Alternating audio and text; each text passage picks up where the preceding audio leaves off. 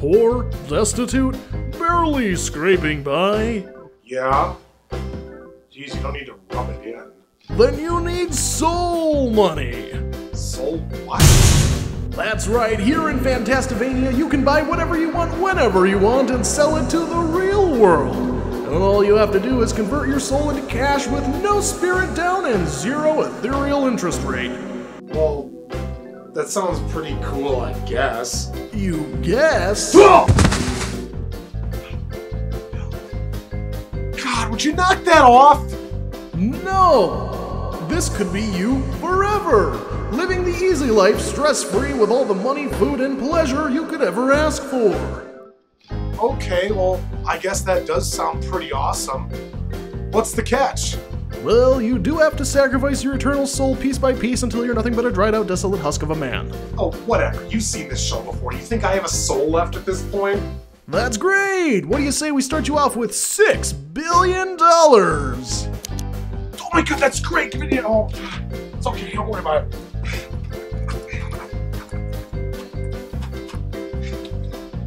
Oh, and one more thing I forgot to mention. What's that? You have to fight me to the death in order to keep the money. If you lose, I get it all instead. but you. Hope you didn't want that soul.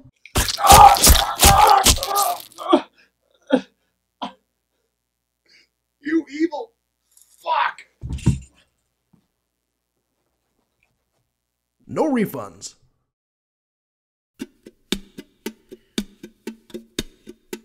Whenever I sang my songs on the stage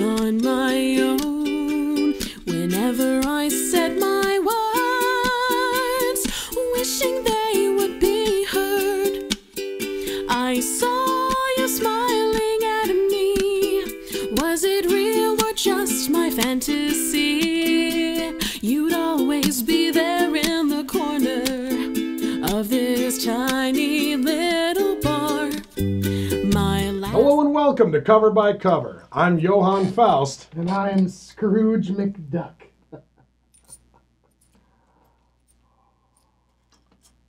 Okay. Anyway, have you ever wanted to travel to a fantasy world and challenge super strong monsters and beasts with your future and life on the line?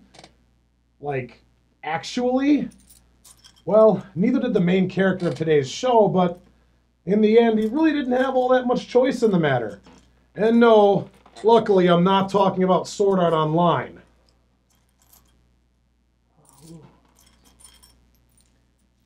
Hey, you, Ah. All right, whatever. Control C. Oh. are you- are you serious right now? I'm We're- counting we're my in the middle- money. I'm counting my money. Okay, I'm trying to figure out how many widgets we could buy. I'm thinking like three.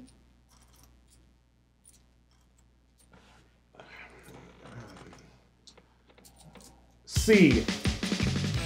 C is an original anime from Tatsunoko Productions, the studio best known for Samurai Pizza Cats, Gatchaman, Casshern Sins, and most infamously, Karas. Well, if that isn't a bizarre enough hodgepodge of titles, today's title is only going to make things weirder. Helmed by famed director of all things bizarre looking, Kenji Nakamura, this series does not disappoint. Well, I mean, it might disappoint some people.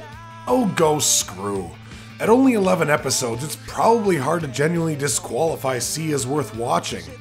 Unless it's unreasonably horrible. But I guess that's something we're gonna have to find out for ourselves. There. Is that fair enough for you? No, you're already saying that it's going to be unreasonably horrible. No, that was a possibility. I mean, I'm, it could be great too, like unreasonably great. You know what? Forget it. There's no pleasing you. That's what she said. All right, whatever. Before this gets any more off the rails, we're just gonna dive into it. So, right now, ladies and gentlemen, it's time for C, the possibility of money or whatever. I don't fucking know. We kick things off with some Japanese guy trying to get some money from an ATM, but all his credit cards and debit cards are fresh out of anything monetarily viable. Well, I guess that means he's only got one choice. Sir, your semen is not a valid form of payment. This is not a sperm bank. Okay, Mom. Jeez. Actually, it's this weird looking black credit card. That's offensive. okay, it's this weird looking African American credit card. There. That's better. Why? Whatever. He puts it in the machine. Okay, that's offensive again. Would you shut the hell up? He sticks the card in the machine, triggering this bizarre sequence of events.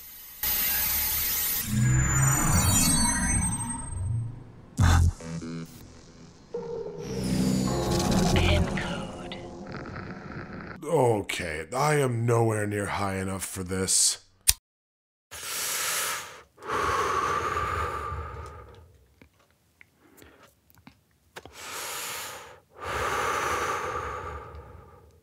Ooh. Alright, what were you saying? So, see if you can follow this sequence of events. The machine asks the guy if he wants to make a deal. He says yes and heads to a parking garage where Donald Trump's satanic taxicab takes him through a doom door to a satanic Wall Street dimension where J. Michael Tatum feigns suicide to get to his mansion made of picture frames. and- Okay. Stop. It's like a game of chance. Stop. Game that I per- Okay, ha- hang on, hang on. I have not done anywhere near enough drugs to follow this. Can you like back up and slow it down a little? I'm Guess let's Okay, a good. little bit, I guess. I'm just gonna get a little bit of a head Okay, start. no, stop that! You serious? but No. pretty please. All right, since you asked so nicely. Really? No! In all seriousness, though, I am legitimately overwhelmed by all of this quote unquote art bombarding me so immediately. It's severe sensory overload, and I can barely process anything that's happening. It's so aggressively abstract that before my brain has a chance, I'm already irritated and more likely to not care. Meanwhile, listen as a voice actor desperately tries to impersonate Mark Hamill. Mr. Mikuni, I hate to interrupt such a rousing soliloquy, but it's time to go. That's also how we did it in my day. I thought that deal was going through tomorrow. Due to circumstances beyond my control, I was forced to move it up. And what's wrong with that? Yeah. Mikuni. But I also want to point out how over designed this guy is. He's like Mad Hatter meets the medicine seller. And it's so unnecessary. It's not creepy or scary, it's silly. It's almost like a parody of the Joker, but to get there, they had to make him look like an actual friggin' clown. And they say I'm crazy. But anyway, we finally get to the point of all of this the deal.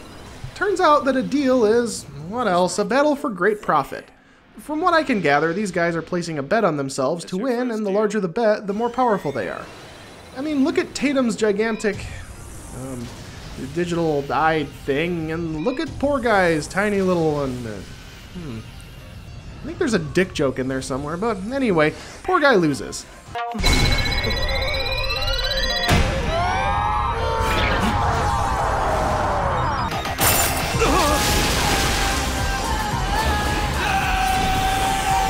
That the awesome money fight is over, it's time to find out how unawesome money can really be. So we have product A and product B. Now, the owner of A wants to trade it for B. That doesn't necessarily mean the owner of product B wants to trade for A, right? Are you a third year college student and somehow have no basic understanding of supply or demand? Well, here, have several giant books about it. That makes sense, right? Hang on a second, hang on a second, you gotta slow down. These complex concepts are way above my intellectual capabilities. Can someone please dumb things down even further? I want to pass, so I've got to study. That's it! I've got it! I'll go back to college! It'll be so easy this time! It all makes sense now!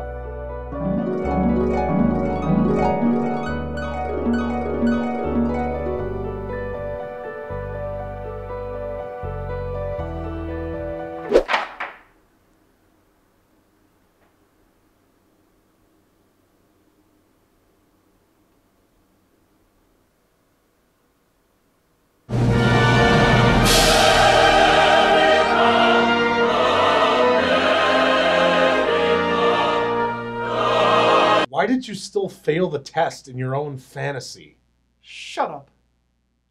Okay. Anyway, this is Kimimaro, and the inquisitive girl is his friend Hanabi. But she's less his friend and more that annoying girl who nags the protagonist about not being serious about school trope. You remember, right? It's Kei Shindo from F. But at least this time, this girl's somewhat subdued about it. A little.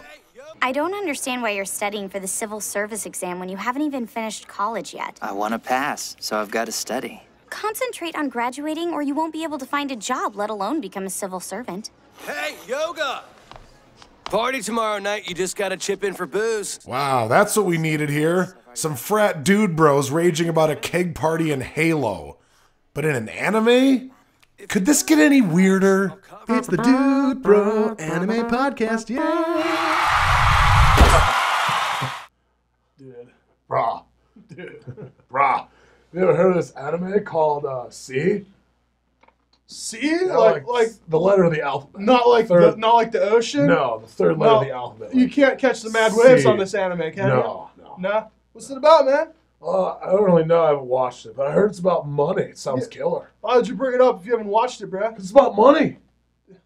Money's awesome, bro. That is pretty cool. Yeah. Eh, I mean, do you get money for watching it, dude? No, it's pay money buy You have to pay money. Oh, wow. Buy it. Money's pretty cool though, dude. Yeah, I could use some more money right now, man. That'd be rad. Buy some mad dank with that money, Oh, dude. hell yeah, that's up. How much does your weed cost? I don't know, dude. Like fifty-five dollars. What? Yeah. No way, man.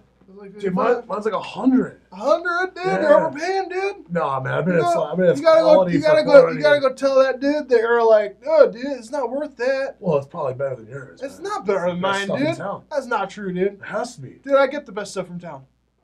You know I know that? Because the dude tells me it's the best stuff in town. Well, that's how you know it's bullshit. And I but You talking mad smack about my dude, dude. Oh, I'm sorry, dude. No. Yeah, calm down, man. My bad. My I'm the one getting it for fifty-five dollars. My dollars. bad, bro. Okay, bro. Alright. All right, bro. You want to smoke a bowl right now? Dude, you don't have to ask. No, sorry, man. All right, hang on a second. Let me uh, let me turn this thing off real quick. It's the Dude Bro Anime Podcast, yeah! So Kimimaro gets the hell out of there, and we see that he's pretty damn destitute. Oh, what can you do? Meanwhile, at an average Japanese train station. Holy crap, that dude just jumped in front of a train and was brutally killed! Oh, well, I guess that ain't no thing in Japan because we cut to a far more interesting average Japanese convenience store for Kimimaro's equally more interesting part time job. Yes, I'm lying about the interesting part. You do know there's a test tomorrow. No way. This is the first I've heard. Is it a pop quiz? You're gonna need these. I wrote down all the main points for you. Just read them over before you go to sleep and you'll do fine. Thanks a lot. But you shouldn't have gone out of your way like this. My life would be easier if you get a cell phone. Then I could just text the notes to you. You came all this way just for me? Mm-hmm. So don't say I never do nice things for you, okay? My shift's almost over. What do you say I take you to dinner to say thank you? My boyfriend's waiting for me. Oh. Rejected! Aw, poor friend zone. Anyway, Kimimaro heads home to study and sleep, but is interrupted by Hatter Clown Joker Deluxe, who tries even more too hard than before to get Kimimaro to join their organization, the Financial District. But Kimimaro turns him down so hard that the asshole deposits 500,000 yen into his account, hypnotizes him, forces him to become a member, and then transports him to the Financial District as the episode ends. Well, that actually wasn't half bad. I'm, I'm interested. Yeah, well, I've got a problem with it. Shocking. By all means, please continue. I will. Actually, it's I'm Will. I'm not saying. Shut up, you dickhead! Anyway, In my opinion, the entire concept of the financial district is being fundamentally mishandled here. The opening scene should have been even darker than it was, with less of J. Michael Tatum's character and solely about the poor guy trying one last time to get out of the hole he's in. All we would have needed was a quick shot of the clown's mouth in Tatum's ear telling him that it was time for his deal. Cut to a very surreal, dark looking part of the financial district, uh, maybe a back alley or something. Their fight takes place, the guy loses, but the atmosphere would have been far more effective. Then when Joker McIdiot is trying to entice Kimimaro, he could fly him all over the place and we would see the entire thing for the first time. Instead of having it be so cold and dour looking to begin with, make it look like a gold plated wonderland. Make the entire appearance of the place a wonderful lie. We as the audience have already seen and know the dark side, but Kimimaro doesn't. Designing it differently would not only create a commentary on the actual seduction of money and how wonderful everything can appear to someone who doesn't have it, but it would also present a facade that would believably convince Kimimaro to accept the invitation as a nearly destitute college student struggling to get by. But no, instead we have to once again deal with a protagonist who wants nothing to do with this supposedly fantastical main plot and has to be dragged into it kicking and screaming. Well, guess what? It didn't work in Guilty Crown, and so far it's not working here. You do realize that there's another episode, right? Yeah, I know. I just I really needed to get that off my chest. I feel a lot better now. Okay. Well, now that Will's done whining, What? we kick off the second episode with Babby's first acid trip, which comes chock full of very necessary exposition. Splendid, yes? The Bank of Midas Plaza. You're despicable. Whoa, what is that? An asset. A personal asset, to be precise. They assist entrees during a deal. That ticker will tell you everything you need to know about your dealing opponents. Opponents? Each week, entrees are required to participate in a competition known as a deal. Consider it your price of admission. It's done wonders for me. But before you can ask any questions or think about anything at all, it's time for a deal! But come on, this guy hasn't explained anything to Kimimaro. Was the goal of this thing to throw another log on the fire? No, there's no time. Here's a lolly. We'll fix it in post.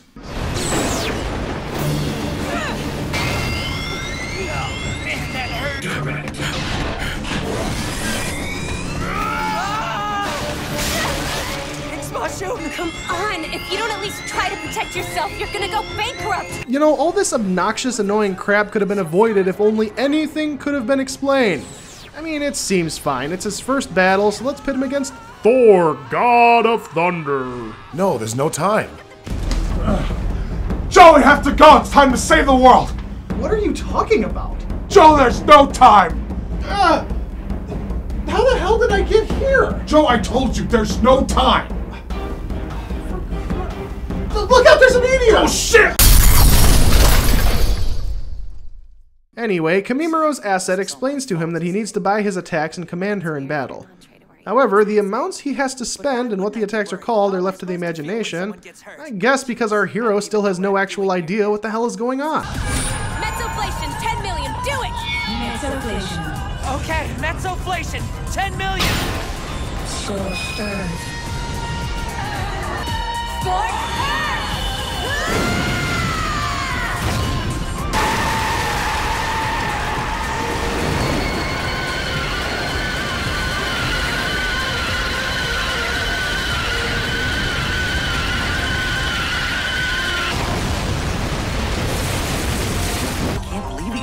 he used Metzoflation in his first deal. Well, he didn't do shit. It was his asset who apparently knows everything and straight up just told him what to do. I hope he gets better than this, or this entire show is going to be seriously embarrassing. Anyway, I do have to admit that the fight was actually really cool, and I appreciate that Kimimaro's opponent wasn't utterly annihilated and murdered like the guy at the beginning of the episode.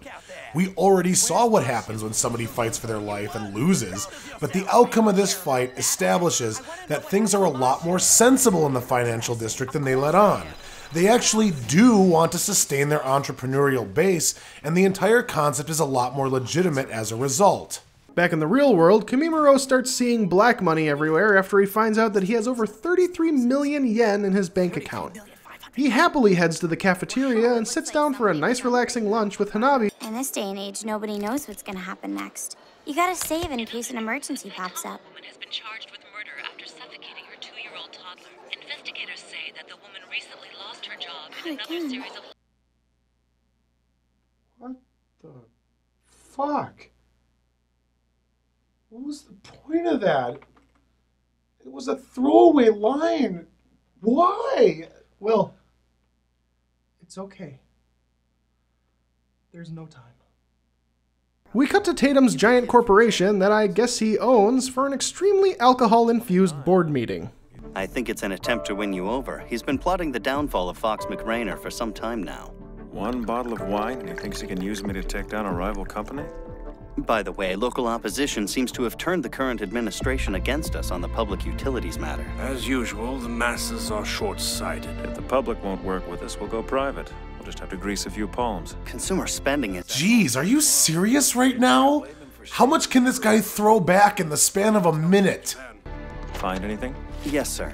I don't need this right now. I'll drive home. Sir, I don't think that's safe. This is your sixth bottle this morning. I'm fine. Bring me my Lamborghini. Sir, you don't own a Lamborghini. Then bring me my Bugatti.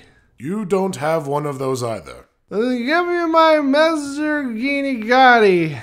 Okay, that's not a real car. You don't tell me what to do. I. Oh. Meanwhile, Kimimaro causes trouble at his job because he thinks this black money is fake when it's actually real money that he sees this way now because he's a member of the financial district. Some Yankee douche is causing trouble when Tatum shows up seemingly out of nowhere to explain the situation. But you're not used to the black money, are you? Hey, who are you? I'm just someone who happened to see your first deal. You're pretty impressive for a rookie. So then you've been to that city too? Only people who've been to the financial district can tell the difference between regular and black money. Actually, it's called Midas money, because it's issued from the Bank of Midas. Maybe you're just afraid of losing, is that it? Your father had that fear too. How would you know that? If a comment like that makes you mad, you must be trying to run away from your parents as well. Do you really know my dad? You've gotta quit running. You're saying I can't be normal? We'll find out. My name is Soichiro Mikuni, and I would be willing to help you if you decide to make something of yourself. And with the world economy definitely devastated by the Bank of Midas, the episode ends. So, it's time for that all important question, JT. Would you continue watching? Yes, of course! Yeah, okay. The concept of this show is actually very intriguing. It might not be the most original idea ever, and the story might be moving a bit too fast, but I would really like to see where this goes and what the creative team does with it. The art is great, aside from the awkwardly inconsistent CGI model for Clowny McDoofus, and although this first couple episodes are far from perfect, they've done their job. I'm in. Aside from my disagreements with some of the artistic choices, I also find this show very entertaining. I don't know how deep it's going to delve into the characters or how well it's going to explore the world of the financial district, but I'm actually feeling good about the direction of the series at this point. And really, sometimes that's all it takes. Give me more. Just in the future, please give us less of that clown guy. He's creepy and weird and poorly designed. Mm-hmm. He's a ripoff of the Joker. Yep. Sucks. Agreed with all of it. Anything else you wanted to add, JT? Yeah, actually. Too bad, there's no time. This has been Cover by Cover. I'm Will Ryan. And I'm JT Camp, reminding you at home don't smother your children. It will stunt their growth because they'll be dead. Why would you bring that back up? It was bad enough once. What's wrong with you? I said don't smother your children. I'm not endorsing it. This is the little end episode thing. But why even talk about it? There's no time. What? Darling, so there you